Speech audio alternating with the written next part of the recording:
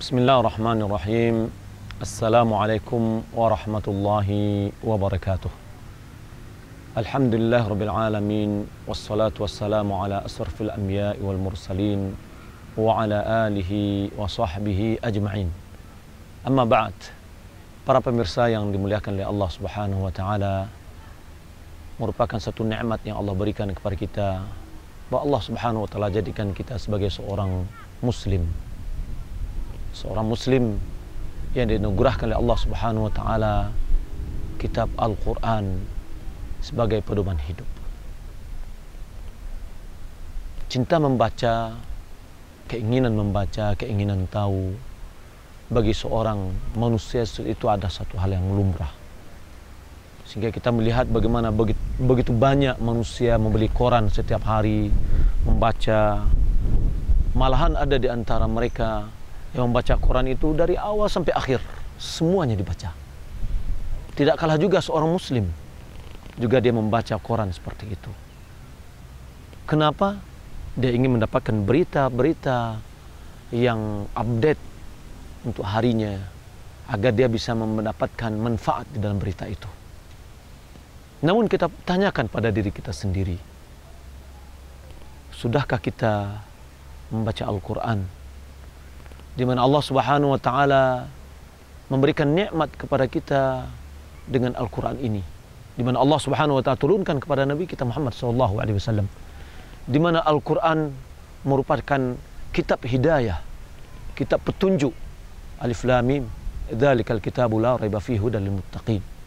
Alif Lam Mim itu kitab yang tidak ada keraguan di dalamnya petunjuk bagi orang-orang yang bertakwa. Sudahkah kita membaca Al-Quran hari ini berapa kita baca Al-Quran pada hari ini sudahkah kita bisa memahami apa yang kita baca sehingga bisa menjadikan Al-Quran itu sebagai kitab hidayah kitab petunjuk bagi kita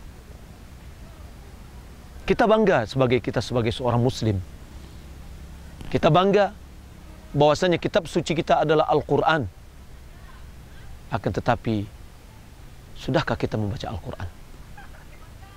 Sudahkah antusias kita untuk membaca Al-Quran itu? Sebagaimana kita membaca Quran? Ada di antara kita yang suka membaca novel untuk mengambil cerita-cerita yang ada di dalamnya.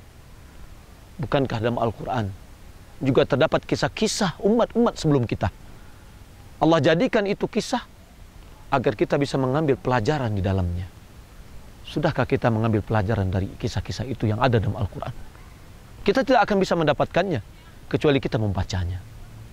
Para pemirsa yang dimuliakan Allah Subhanahu wa taala. Allah Subhanahu wa taala menyuruh kita untuk baca Al-Quran. Allah Subhanahu wa taala berfirman dalam surah Kahfi, "Watlu ma unzila ilaika min kitabi rabbik." Bacalah apa yang diturunkan kepadamu dari kitab Rabbmu. Allah Subhanahu wa taala juga berfirman, "Faqra'u ma tayassara min." Bacalah apa yang mudah darinya. Bagaimana kita akan bisa mendapatkan petunjuk kalau seandainya Al-Qur'an itu tidak pernah kita baca? Bagaimana kita akan mendapatkan petunjuk jika seandainya Al-Qur'an itu tidak pernah kita pahami? Rasulullah Shallallahu alaihi wasallam bersabda, Siapa yang membaca satu huruf saja dari kitab Allah, maka dia akan mendapatkan satu kebaikan. Satu kebaikan dilipat ganda akan menjadi sepuluh kali lipat. Aku tidak mengatakan kata Rasulullah alif lam mim itu satu huruf, akan tetapi alif satu huruf, lam satu huruf, mim satu huruf. Ketika seorang membaca alif lam mim, dia mendapatkan 30 pahala.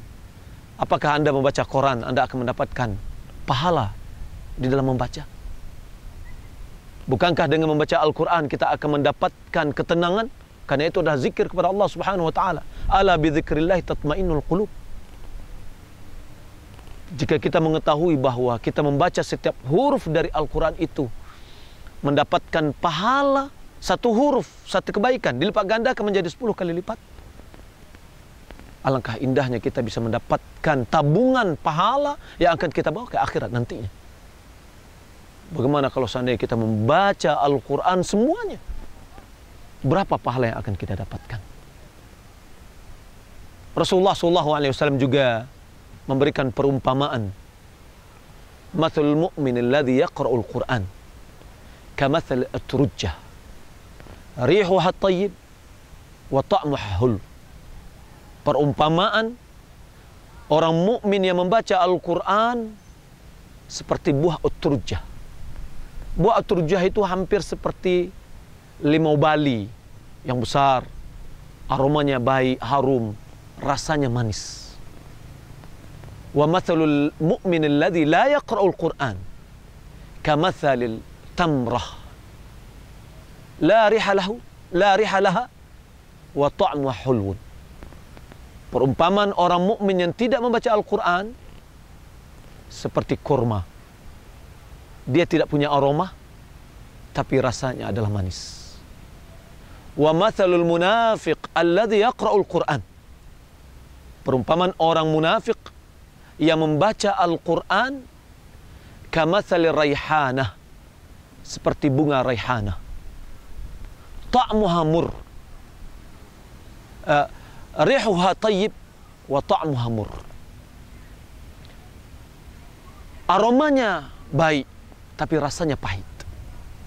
Wa mathalul munafiq alladhi la yaqra'ul quran kamathal hamdalah la riha laha wa ta'muha mur Perumpamaan orang munafik yang tidak membaca Al-Quran seperti hamdalah. Dia tidak punya aroma, rasanya adalah pahit. Subhanallah. Sabda Rasulullah sallallahu alaihi wasallam ini sangat-sangat berarti bagi kita memberikan perumpamaan orang mukmin yang membaca Al-Quran dan mukmin yang tidak membaca Al-Quran. Orang munafik yang menampakkan dirinya sebagai seorang mukmin atau seorang muslim, dia membaca Al-Quran tapi dia men menyembunyikan kekafirannya kepada Allah Subhanahu wa taala, dia menampakkan Islam, dia baca Al-Qur'an, diumpamakan juga seperti bunga yang baunya yang aromanya atau baunya adalah baik akan tetapi rasanya adalah pahit. Tidakkah kita ingin menjadi seorang mukmin yang membaca Al-Qur'an? Aromanya harum. Rasanya adalah manis. Bacaan Al-Qur'an diibaratkan sebagai aroma yang bisa di, di, dirasakan. Dan keimanan yang ada pada hati adalah rasa manis yang ada pada buah itu. Perumpamaan orang mukmin yang tidak membaca Al-Quran seperti kurma yang dia tidak punya aroma karena orang mukmin ketika dia tidak membaca Al-Quran tidak ada aromanya, tidak kedengaran dan rasanya adalah manis karena keimanannya. Maka jadilah kita sebagai orang mukmin yang selalu membaca Al-Quran. Kemudian Rasulullah SAW juga mengatakan, khairukum man al-Quran wa. Hadis keluarkan oleh Imam Muslim. Sebaik-baik kalian adalah orang yang mem mem mempelajari Al-Quran dan mengajarkannya. Itu adalah sebaik-baik orang. Jika Anda belum bisa membaca Al-Quran, Anda mempelajari maka Anda adalah sebaik-baik orang yang belajar. Jika Anda sudah bisa dan Anda mengajarkan, Anda adalah orang sebaik-baik orang yang mengajarkan. Namun kaum muslimin dan muslimat para pemirsa yang dimuliakan Allah Subhanahu wa taala, sikap kita dengan Al-Qur'an terlalu meremehkan. Kita membayar guru ngaji terhadap anak kita dengan uh, uang yang sedikit Sementara ketika kita menyuruh anak kita ikut kursus, kita dengan bangga, malahan disiplin memberikan keuangan agar dia mendapatkan kepandaian di dalam apa yang dikursusinya. Sementara dalam Al-Quran, Rasulullah SAW mengatakan orang yang mempelajari adalah orang yang sebaik-baik orang, sebaik-baik manusia. Dan orang yang mengajarkan adalah sebaik-baik manusia. Kaum muslimin dan muslimat, pemirsa yang dimuliakan Allah Subhanahu wa taala. Maka oleh karena itu, mari kita marakkan. Mari kita budayakan untuk membaca Al-Quran. Sedikit demi sedikit kita pahami Alhamdulillah nikmat Allah subhanahu wa ta'ala sekarang kita rasakan. Ketika kita tidak bisa berbahasa Arab, kita sudah dianugerahkan Al-Quran terjemahan. Mari kita baca satu ayat, dua ayat, tiga ayat, lalu kita baca artinya dan kita pahami. Sehingga betul-betul Al-Quran itu bisa menjadi kitab hidayah dan kitab petunjuk. Kaum muslimin, para kaum muslimin dan muslimat, para pemirsa yang dimuliakan Allah Subhanahu wa taala.